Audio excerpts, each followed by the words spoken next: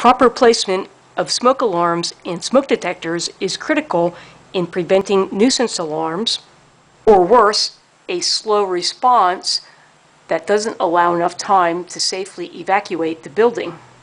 Fluorescent lights can cause interference. Install at least 12 inches away from them.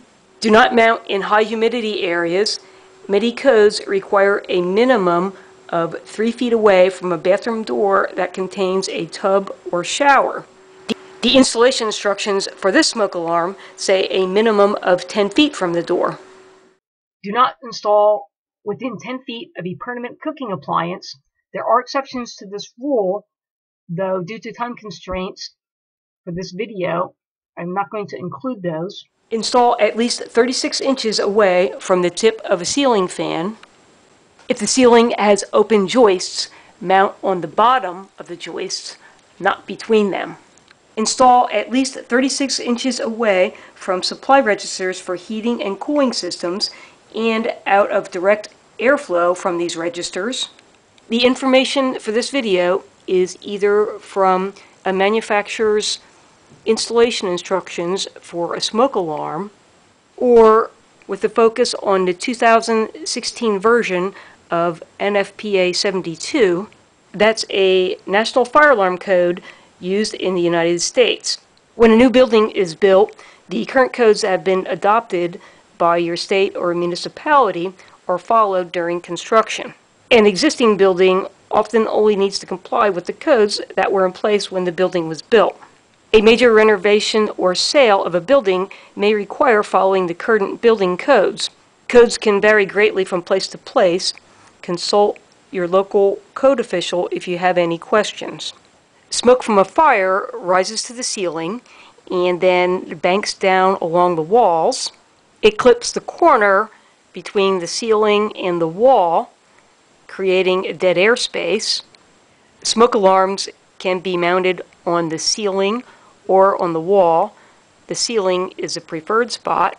Minimum spacing from the wall is 4 inches to the edge of the smoke alarm. For wall mount, the edge of the detector must be a minimum of 4 inches from the ceiling and a maximum of 12 inches. The 2016 version of NFPA 72 has eliminated the 4-inch rule for this type of ceiling.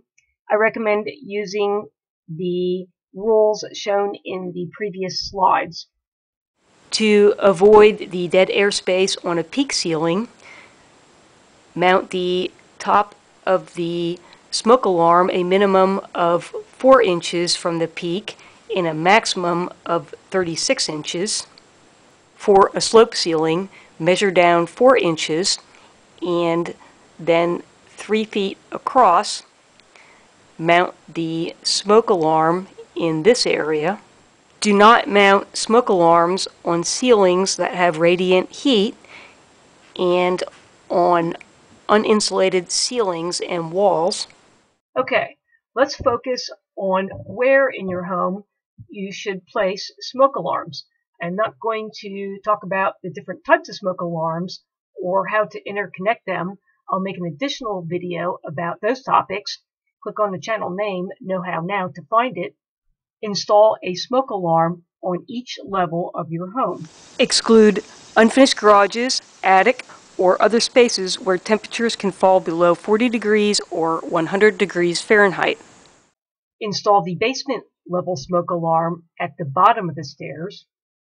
If the home has two stories, install the first floor smoke alarm in the living room below the stairway leading to the second floor.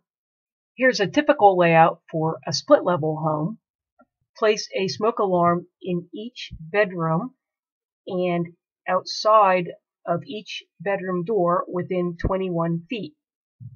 Here's an example of where the bedrooms are not clustered in one area. If you follow the guidelines in this video, odds are you'll have few nuisance alarms, you'll have adequate coverage, and you'll be in the ballpark for code requirements. I hope you found this video helpful. A thumbs up is always appreciated. Click on the channel name, Know How Now, to find other videos, and thanks for watching.